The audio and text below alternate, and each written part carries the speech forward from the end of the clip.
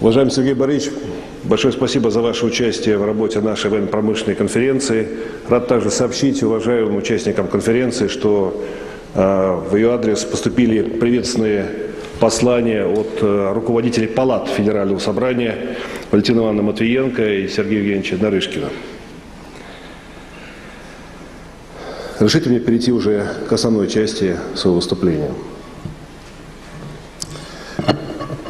Хочу напомнить, что с момента образования военно-промышленной комиссии уже вот с этим названием, в этом статусе и в этом виде ее последовательно возглавляли такие выдающиеся деятели, выдающиеся организаторы а, нашей оборонной промышленности, как Дмитрий Федорович Устинов, Леонид Васильевич Смирнов, Юрий Дмитриевич Масляков, Игорь Сергеевич Белоусов.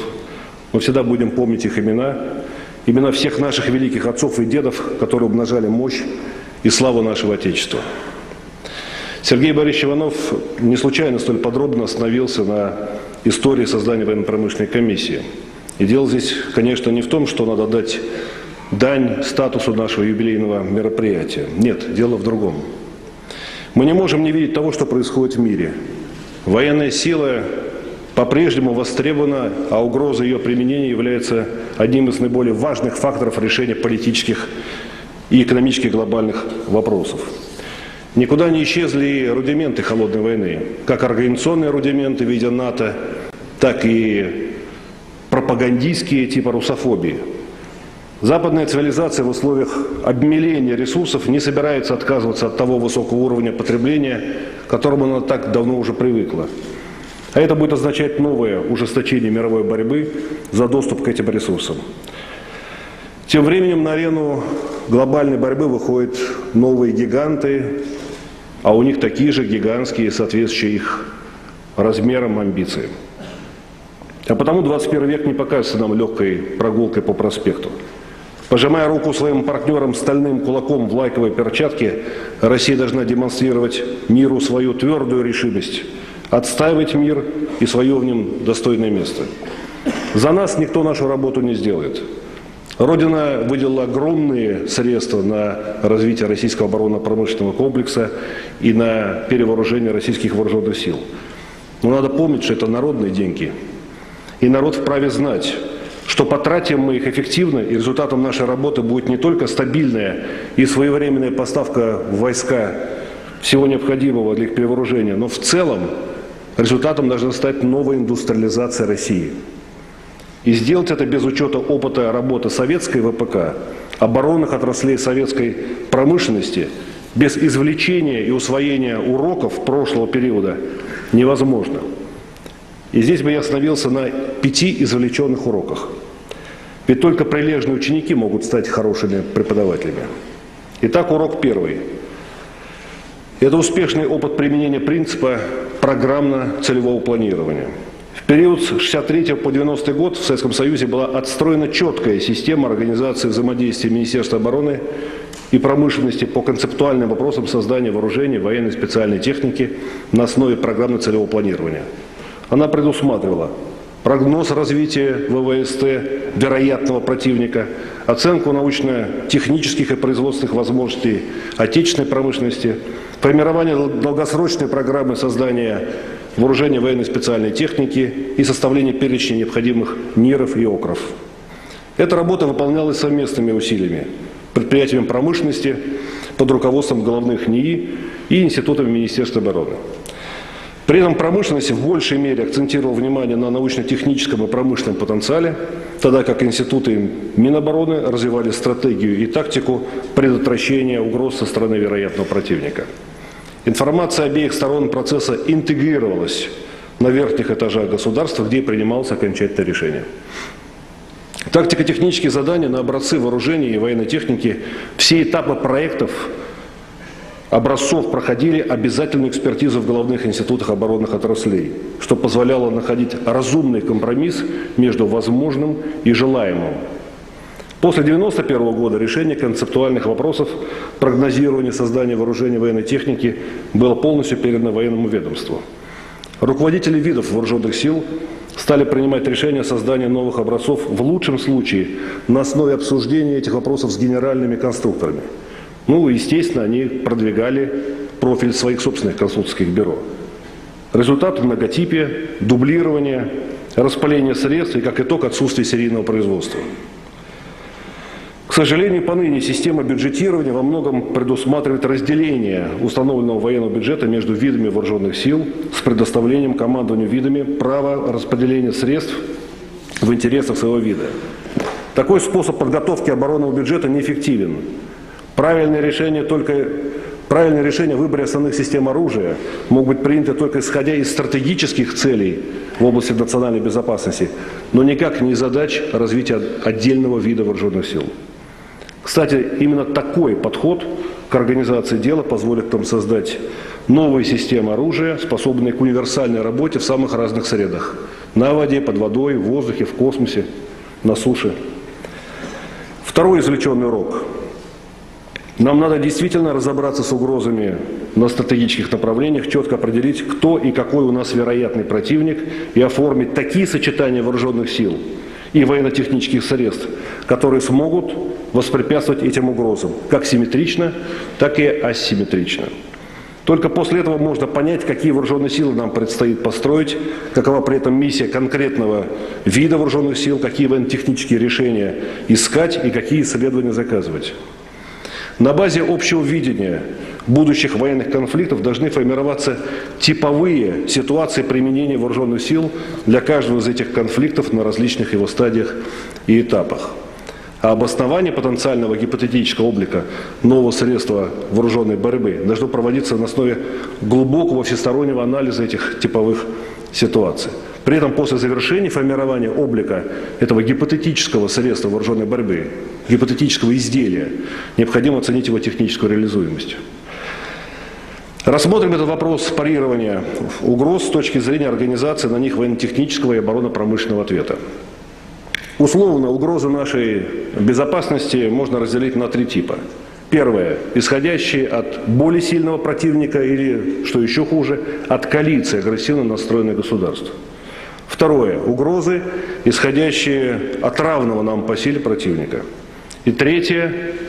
Угроза со стороны более слабого противника, коим может оказаться как государство с безответственным и агрессивным политическим режимом, так и вовсе не государство, а, скажем, банформирование или, как их величают на Западе, повстанцы. Понятно, что в каждом конкретном случае речь пойдет о совершенно разных масштабах и способах ведения вооруженной борьбы, а значит о выборе различных инструментов отражения агрессии. Но есть один универсальный инструмент, который нам понадобится при всех возможных сценариях развития ситуации. У нас огромная страна с протяженными границами и одновременно очень сложная демографическая ситуация. По самым оптимистическим оценкам, для того, чтобы быть готовым отразить все возможные угрозы, нам нужна армия в пять раз больше того, чем есть сейчас. Но это невозможно. Следовательно, нужно в первоочередном порядке создавать вооружение, позволяющее нашему солдату воевать за пятерых. Видеть врага раньше, чем он увидит нас. Поразить его надежнее и на большем расстоянии, чтобы он не имел возможности поразить нас. Именно на создание техники подобного рода, универсально применимой при всех возможных сценариях, мы предлагаем в первоочередном порядке сосредоточить наши материальные и людские ресурсы. Эти средства вооруженной борьбы должны создаваться на принципах роботизации и автоматизации. Как вы понимаете, речь идет о беспилотных воздушных, наземных, надводных и подводных комплексах вооружений – они должны создаваться с опорой на автоматизированные средства разведки и целеуказания, радиолокационные, радиотехнические, оптически активные и пассивные всех диапазонов, и быть увязанными в единый комплексы. Что касается группы предприятий, которые специализируются на создании средств стратегического сдерживания, то им предстоит сосредоточиться на отработке принципиально новых, оригинальных идей, которые в корне изменят наше представление о боевых действиях в глобальной войне. Эти идеи еще нужно сформулировать и воплотить их в металл в виде демонстрационных образцов. Это позволит сформировать научно обоснованный взгляд на формы и методы вооруженной борьбы с более сильным противником. Третий урок состоит в том, что наши отцы оставили нам фундаментальную науку и 30-летний научно-технический задел, который позволяет до сих пор черпать в нем знания и технологии для создания современных вооружений. Но его запасы стремительно тают. Теперь уже нам надлежит заложить в закрома Родины интеллектуальное богатство нашей науки и конструкторской мысли. Надо немедленно восстановить методологию создания образцов вооружений военной техники, при которой ход разработки конкретного образца можно проследить от проведения фундаментальных исследований через прикладные и опытные конструкторские работы до серийного производства. Первым этапом на пути решения этой проблемы могла бы стать реализация подготовленной Российской Академией Наук и научно-техническим советом военно-промышленной комиссии программы фундаментальных и поисковых работ в интересах обороны и безопасности. Организационно данную программу мы планируем реализовать в рамках ФЦП ОПК с тем, чтобы ее заказчиками от промышленности были генеральные конструкторы – а научные институты обеспечили бы ее реализацию, создавая, создавая задел на будущее. К решению этой задачи считают целесообразным привлечь фонд перспективных исследований, попечительский совет которого сейчас заканчивает работу по организационному оформлению и началу работы этого фонда, с которым наша промышленность связывает большие надежды. В этой связи хотел бы высказать недоумение появлением информации о подготовке поправок к положению о премиях правительства Российской Федерации в области науки и техники, которым, которыми предполагается уполовинить эти премии, вручаемые за выдающиеся научные достижения в интересах обороны и безопасности. Мы, военно-промышленной комиссии при правительстве Российской Федерации, таким инновациям рады не будем и их не ждем.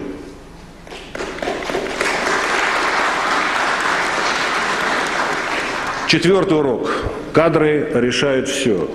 Кадры проблема в ОПК сейчас является главной. От того, как и когда она будет решена, зависит реализация всей нашей политики по развитию ОПК. В последнее время у нас появились первые поводы для осторожного оптимизма. На финишной прямой находится работа над проектом программы подготовки и переподготовки квалифицированных кадров на период 13-20 годы. Ее реализация предусматривает софинансирование при подготовке кадров со стороны ведущих организаций оборонно-промышленного комплекса. Но более подробно об этом, я надеюсь, остановится представитель Миноборнауки. На особом контроле правительства и его ВПК находится вопрос создания системы дополнительного профессионального образования. Как уже сказал Дмитрий Анатольевич Медведев, она позволит нам в течение 7 лет осуществить переподготовку и повысить квалификацию около 200 тысяч инженерно-технических работников оборонно-промышленного комплекса.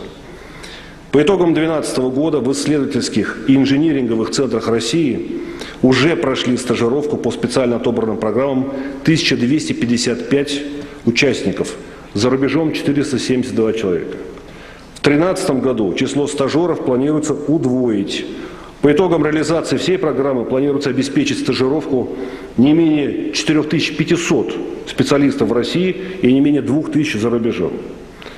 В этих целях активизируется взаимодействие организации УПК с техническими вузами, в дни открытых дверей и круглых столов, включая подготовительную работу по отбору кандидатов на участие в стажировке.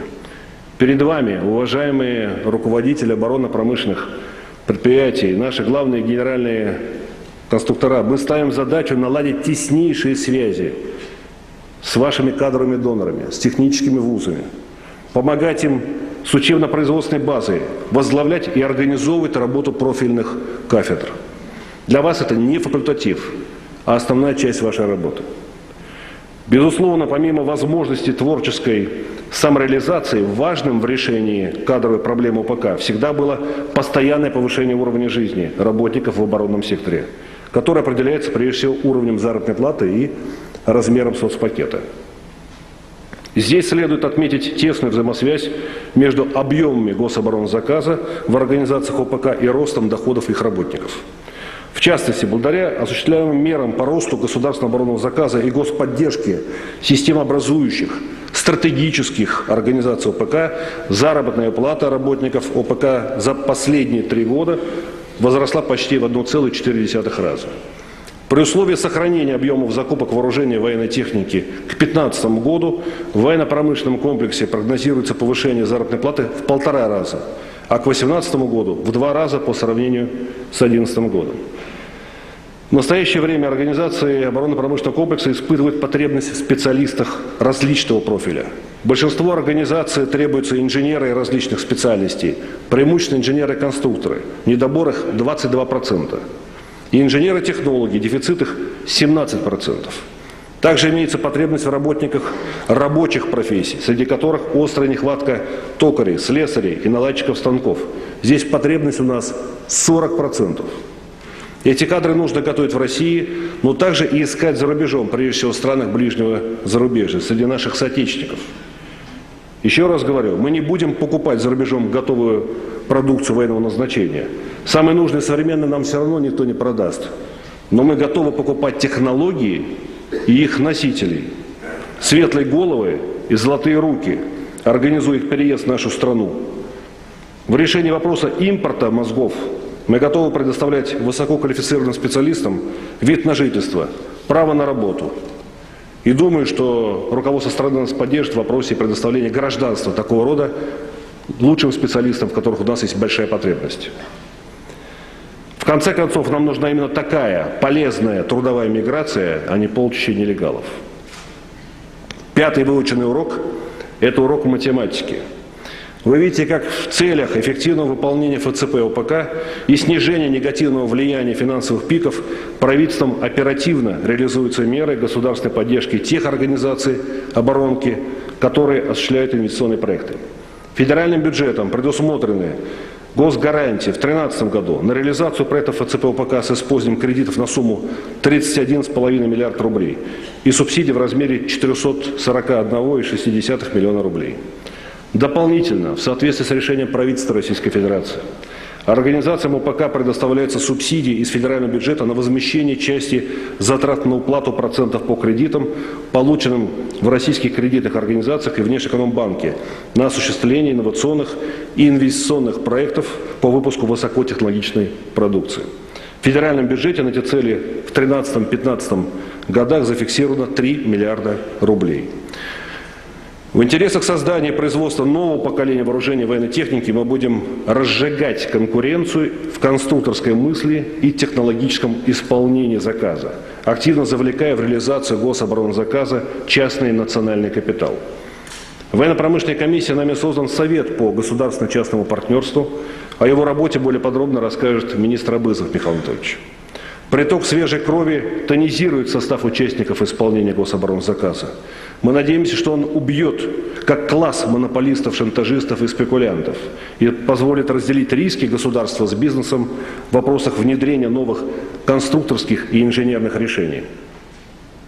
Замахнувшись на цель полномасштабного перевооружения не только армии флота, но и всей оборонной промышленности, мы должны понять, что этого не сделать без пересмотра некоторых наших традиционных представлений о кредитно-финансовой политике. Меня всегда удивляло, почему самые бравые российские либералы, как только дело доходило до поддержки российской промышленности, становились самыми тугими консерваторами, иногда даже и мракобесами. Да, правительство действительно готово к оптимизации расходов организации оборонно-промышленного комплекса на уплату процентов по кредитам, привлекаемым ими под госгарантии для целей реализации госпрограммы вооружения, в частности ограничению процентной ставки, исходя из ставки рефинансирования Центробанка плюс полтора процента. Но не пришло ли время для начала серьезной дискуссии о том, что длительные по исполнению оборонные заказы, гарантированные государством, должны обеспечиваться недорогими длинными кредитными деньгами. Разве можно поднять промышленность, суживая ей деньги под 10, 12, 13 процентов? Не уверен. А вот под 4-5 процентов можно. Точно можно. Стабильности финансово-экономической системы государства можно добиться не только сокращением неэффективных государственных расходов, что правильно, но и за счет роста доходов, что правильно вдвойне – а такой рост доходов государства может дать только стабильно и азартно работающая национальная промышленность. В заключение хочу отметить, какие основные задачи мы должны решить в ближайшей перспективе. Основные из них уже обрисовал Дмитрий Анатольевич Медведев. Назову следующие. Первое. В течение нынешнего 2013 года подготовить и принять всю необходимую нормативно-правовую базу для того, чтобы в полную силу, в полный рост заработал принятый и подписанный президентом закон о государственном оборонном заказе. Я только что подписал план реализации этих мер, план принятия, подготовки принятия постановлений правительства по э, вводу в действие этого закона. Надеюсь, что мы от этого плана не отойдем ни на один день.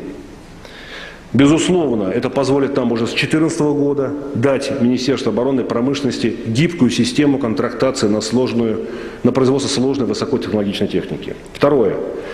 Запустить работу фонда перспективных исследований. Я еще раз говорю, большие надежды мы связываем с работой этой новой структуры. Третье. Приступить к реализации программы фундаментальных и поисковых исследований в интересах обороны и безопасности. Четвертое. Сформировать новые кредитно-финансовые механизмы стимулирования промышленности. Пятое. Сформировать оптимальную структуру ракетокосмической промышленности и активно внедрять в оборонке идеологию создания центров компетенции, а также крупных эффективных интегрированных структур. Уверен, что переход к стабильной работе предприятий и внедрение единой технической политики позволит нам радикально поднять качество производимой нами продукции. И самое главное – Президент России Владимир Владимирович Путин в своих предвыборных статьях и первых после инаугурационных указах поставил перед правительством и промышленностью задачу обеспечить вооруженные силы страны современной и ультрасовременной техникой. И речь идет не об оружии сегодняшнего дня, а о технике будущего, которая пока существует лишь на кончике конструкторского карандаша. Создавать такую технику невозможно без новых материалов, нового оборудования, технологий, основанных на принципиально новых подходах в организации нашего дела. Реализацию поставленной президентом задачи мы решили увязать с новой программой вооружения ГПВ-1625, в которой планирование перспективных образцов станет возможно лишь после проведения необходимых материаловедческих, технологических, производственных и других НИРов – они определят полный спектр возможностей государства. Фундаментальная наука должна стать повитухой, прививальной бабкой промышленности, готовой принять роды новой индустриальной России. Горизонт научного задела должен быть раздвинут с трех-пяти лет, как сейчас, на 20-30 лет вперед. Не стоит бежать за мощной спиной преуспевающего и самодовольного супостата. Надо смело резать угол и кратчайшим путем выходить к цели. И помните, мы одной крови. Инженер, конструктор, рабочий, класс творцов, интеллигентов, тружеников. На вас вся надежда будущей великой страны. Слава России!